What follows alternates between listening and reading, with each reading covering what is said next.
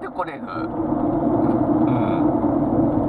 ん。やつがいたらすげえ最高に楽しいんでしょうけど、やっぱ仕事とかしてると、学生時代やっぱりいましたけどね。うん。急にバカな手離してると、お2160円。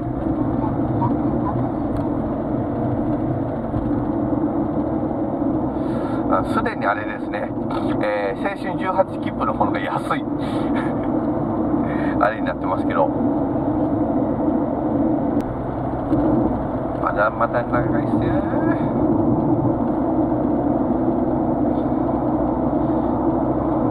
この先も別にずっと京都縦貫道は縦貫道なんですよね。不思議な作りですね。そして私はだんだん気づいてきましたよ。これパーキングエリアねえなさては。さすがにこんだけ走って全然案内がないってことそういうことかな。で、え、ー、と、あと77キロって出てますね。あちょうど福知山までの距離かな、これ。あそこが終点なんでしょうね。まあ、とか起点なのか。えー、番号がそっちからついてるってこと。あっちが起点なんですね。えー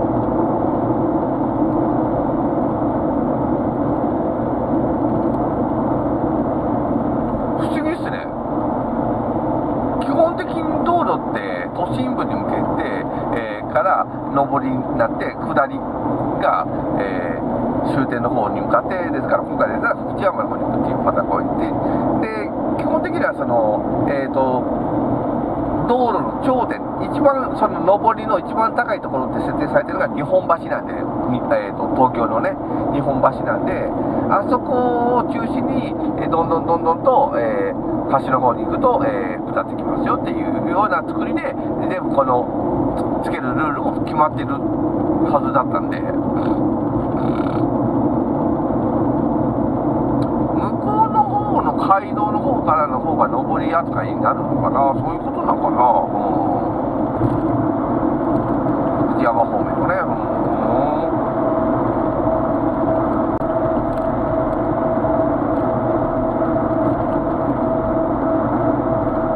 まあだいぶトンネルは多めですねそうっすね。だって山陰の方に向かってあの山岳地帯をだいぶ山に貫いてるんですもんね。なので正直あれですよね。いいですよね。下道だとだいぶクネクネしてましたもんね。この辺り。でこの時間なら渋滞はないと思いますけどだいぶ福知山からちょうど夕方の辺りだったんで結構混んだりとかしてましたもんね。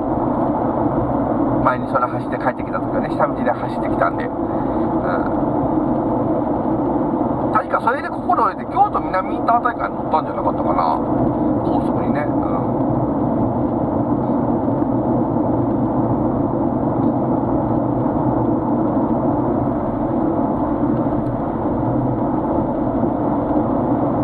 そこら辺から高速に乗った挙句にあのエアコンのスイッチがぶっ壊れて、えー、大変なことになったっていうね、えーあれ結構怖かったですね。確かデフロスターかけようかなと思って前が曇ってきたんでね、ガチャッとやったら、スイッチがバキッて壊れて、え？ってなって、デフロスター効かせれない。ちょっと待って、ちょっと待って。えー、慌てて、慌てて、ちょうどもう、高架土山の、あさっき止まったサービスエリアね、えー、の近くの方まで来たんで、窓を開けて、なんとかその、外気入れることによって、なんとかちょっと前天面視界を、えー、曇りをね、えー、緩和して、うん、とかってやって、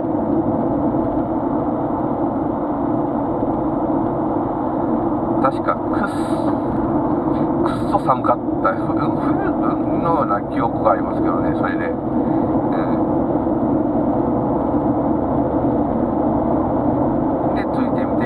えー、爪のとこが割とったなんとかデフロスターところに合わせて、えー、物理的なやつだったんで、なんとかもう無理やり、えー、指先使って工事曲げて、えー、とりあえずそれで、えー、曇り止めは効く状態にしてね、えー、走ってなんとかなったっていうね、こととかありましたね。で、後からスイッチのところ交換してもらってってい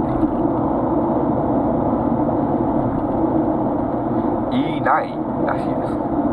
えーあ、で、出ましたね。多い。多いえあ、違う、前言ったの大江だ。大井だと、大井さんじゃないですか。あら、大井さんじゃないですか。あら。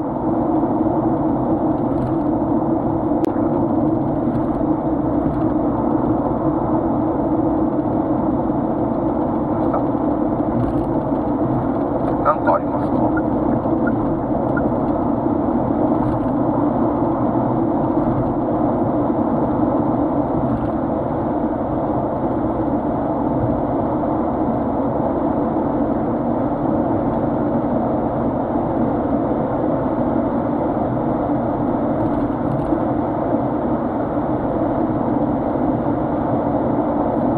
わからんけど、前行かしてもらおうかな。ち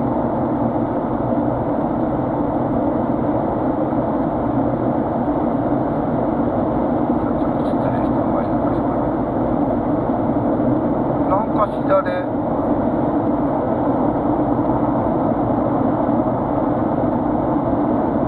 何だったんだろうな。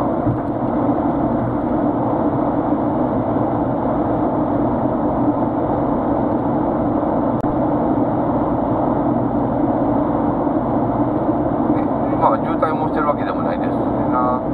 何かしらちょっとマイナートラブルあるよっていうような感じなのかな。まあうちも急がんとまずいっていう状況ではないんでね。えーまあまずいのはどちらかというと、トイレ行きたいんだよな。もうトイレ行きたいんだよな。どうしてこんなに私はトイレが近いんだ。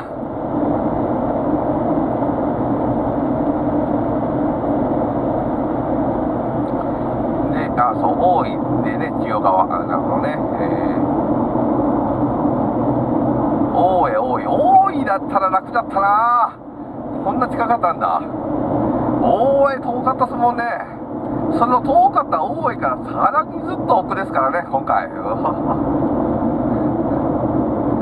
だよ。そんな難易度な生き方しなくていいんだよ。本当ね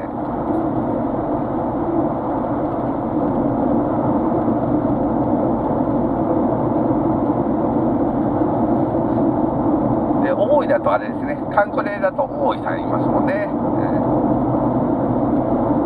大井さん大井北上さんですよね、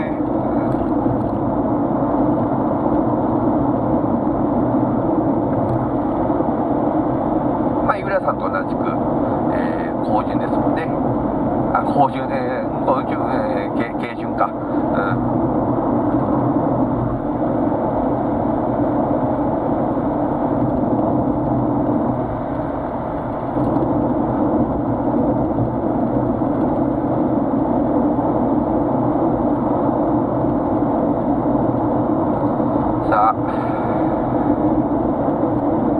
まあサブちゃんもまあ言うてまあまあ素材取れたな。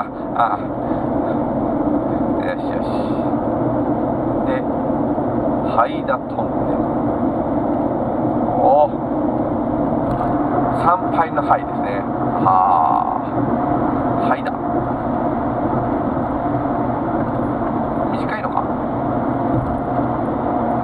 そうなのか。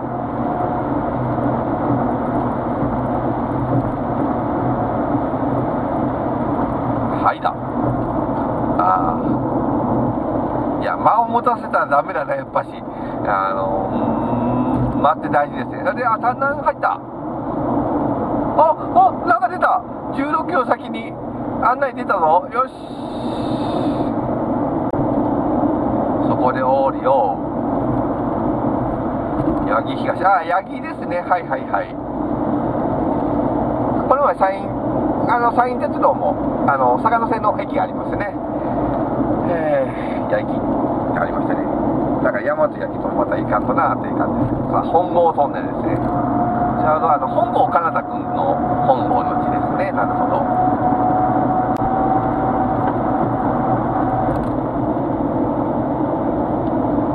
八木で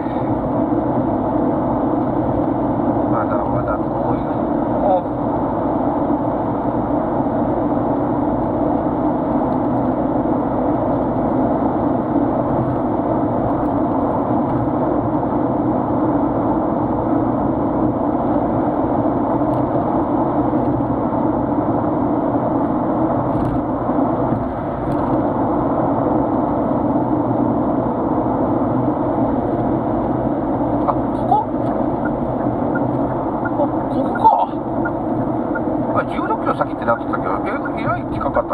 や、とりあえずちょっと止めてね。あのね、私気がついたんですよ。ナビ音消してる。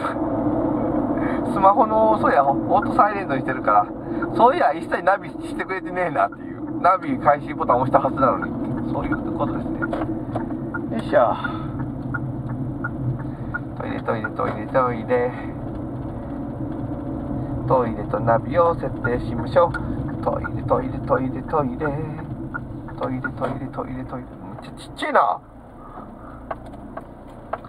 本当にトイレと自販機オンリーって感じか。よし。ちょっと設定していきましょう。